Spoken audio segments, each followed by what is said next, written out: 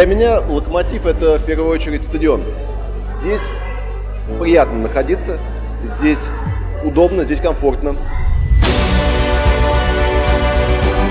Когда попадаешь сюда на стадион, попадаешь в такую домашнюю атмосферу, э, также на стадионе встречаешь своих однокурсников, одноклассников, э, с кем болел. Не так часто мы видимся в силу своей занятости. Стадион наш дом, здесь мы находим друзей, здесь мы болеем за любимую команду.